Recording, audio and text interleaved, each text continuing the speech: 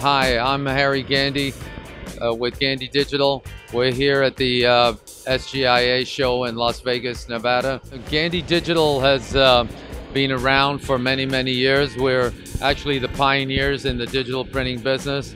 We uh, manufacture our uh, printers in, uh, in Canada. We have offices in Irving, Texas, and in uh, Brussels, uh, Belgium. This is the our new Gladiator. It's a true flatbed. We have two models, four foot by eight foot, and we have a six and a half by 10 or two meter by three meter. We're introducing the new NanoDot Kyocera head uh, technology.